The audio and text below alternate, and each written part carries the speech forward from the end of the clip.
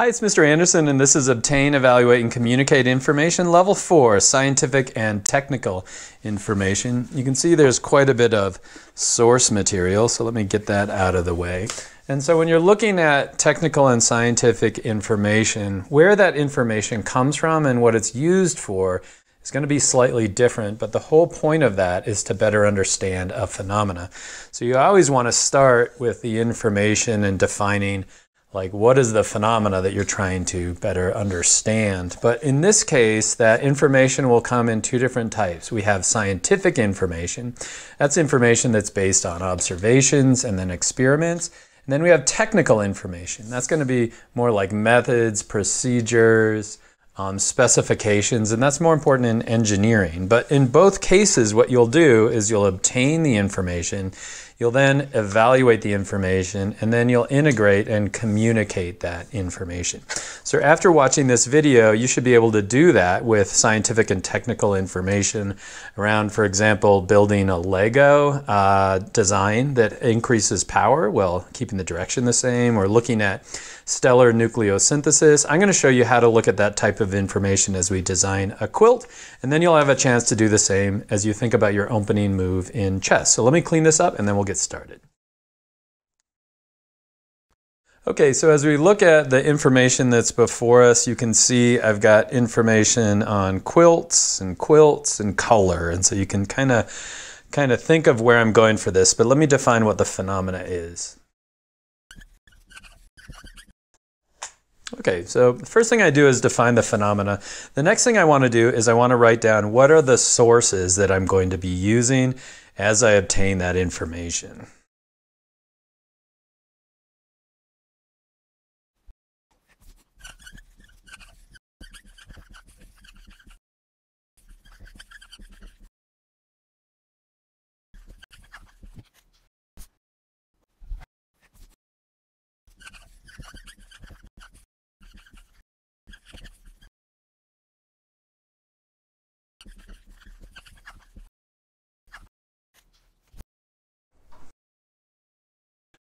Okay, so the sources that I'm using are uh, first of all, first of all from Quilter's World, we have this cherry blossom Valentine design. Um, from Quick and Easy Quilts, we have this My Heart's Delight, and then from Applied Color Research, we have an article on what color do you feel.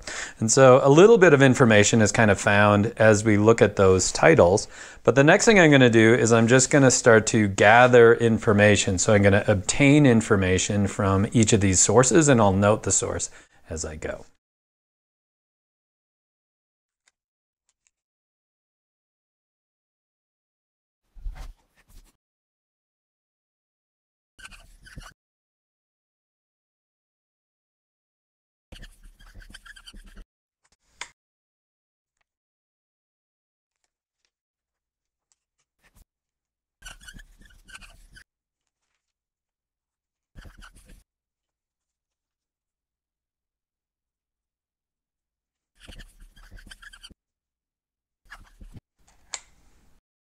Okay, so I've included the source for the cherry blossom. So there's 12 prints that I would have to buy.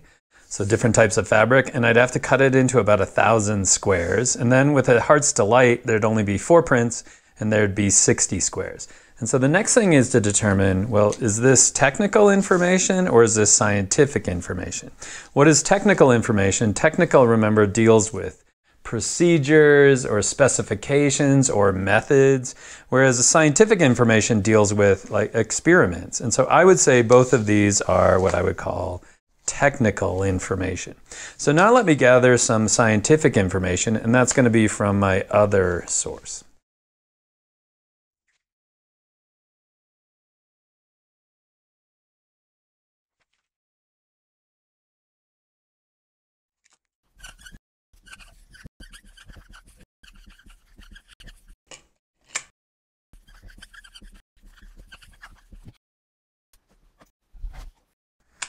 Okay, for the next one, this is an experiment that was done by the Color Research Applied Research Group, uh, or uh, uh, submitted to a journal rather by this group from Institute of Psychology, it looks like, in Switzerland. Um, so anyway, so what were they doing? They were showing people different scenarios, like you bought a lottery ticket and you just won, and then they had to choose what color kind of was associated with that. And then it looks like they gathered a lot of data and found these colors like red, orange, and especially yellow are associated with joy, whereas some of these darker colors are associated with sadness. And so, what is this? And so, it's based on an experiment and observations. This would be scientific information. So, this would come from technical, and this comes from scientific information. So, now what is my job? Well, I have to evaluate that. So let's say, for example, that I want to make a easy, joyous heart quilt, then I'm going to choose specific technical information. So this information would be important because I might make it out of yellow and then use lighter colors. So that scientific information might be helpful. And then when I'm trying to decide which of these different designs I should do, if I want it to be easy, then I might choose one that doesn't have as many squares. So I might choose the Heart's Delight and I might just leave this until I become better at doing some quilting. And so again, what are we doing? We're just taking information from those sources. One of the big things is to identify is this scientific information or is this technical information, then evaluating that. And as you do that, communicating information. So I might say, I'm going to make a Heart's Delight quilt, and I'm going to use the colors of maybe white, yellow, and I don't know, orange to make my quilt. And so that's how you obtain, evaluate, and communicate information. What I'm going to do is clean this up and you'll have a chance to do it on your own. Okay, for the second one, we've obviously can see the phenomena is going to be related to So it's about chess, but we're going to narrow that down a little bit and I'm going to make it about the opening move in chess. So I don't play a lot of chess and I don't know much about chess. That's the idea with this. We're going to gather information from this. And so what we're going to try to come up with was what would be a good opening move if you were playing chess. And so what I would encourage you to do, I'll link up some pages from these down below, is pause the video, identify important information, identify if it's technical or scientific information, and then communicate at the end if you were white in a game of chess or black in a game of chess and black goes second. What would be your moves? And then unpause the video, come back, and we'll see how our thinking compares.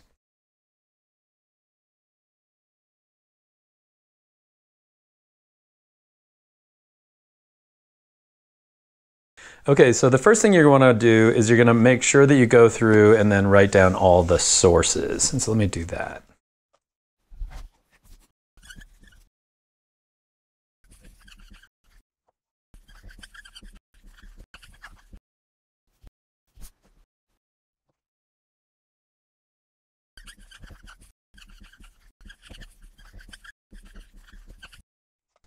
Okay, so we've got three sources. We have Chess Basics, which is by Nigel Short. We've got Puzzlewright Guide to Chess, which is by Bert Hochberg. And then we have a data-driven exploration of the evolution of chess. And I could look through and see who are each of these. I remember looking through and seeing this is an expert in chess. This is an expert in chess.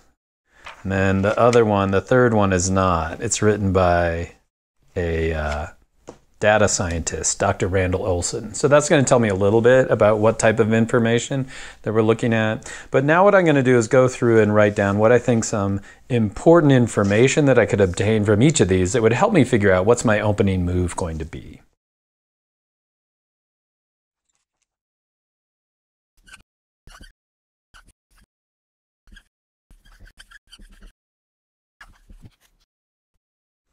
Okay, so I can see on here that the first thing is that there's some notation. So one determines the move, Q determines the piece. So like queen would be Q, and then F3 determines the square. So this looks like almost a game of Battleship where you figure out what are the letters and then what is the numbers. And I don't even know if this is a, a legal move, but let's start there.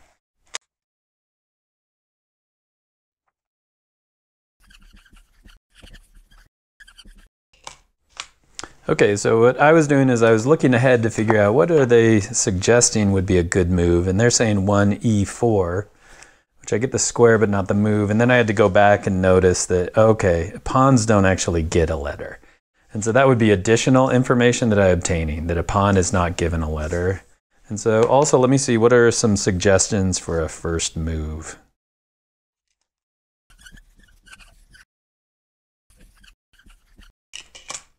Okay, so from chess basics, I've learned a little bit about the notation. I also know about the pawns, and they said a popular opening if you're white would be 1e4.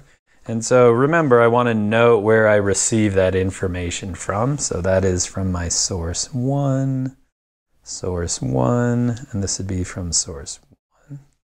Now let me look through my second source.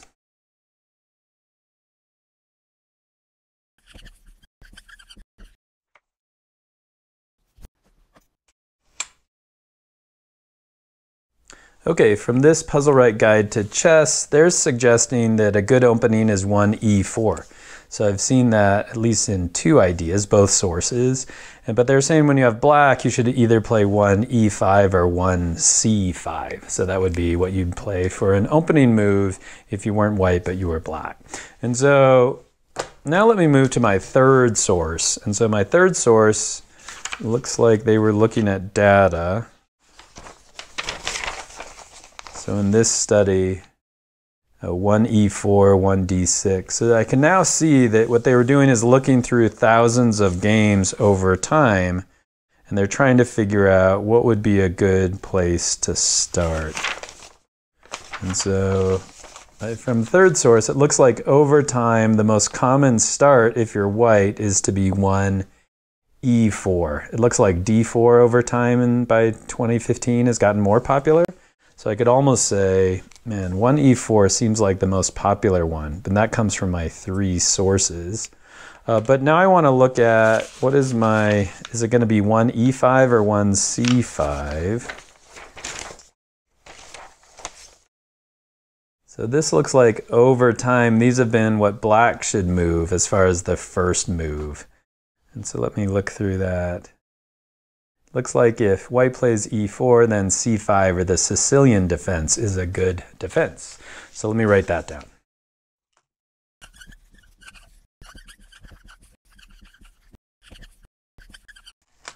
Okay, so over time I can see that the Sicilian defense has been more popular. So if they play e4 for white move, c5 would be your best defense.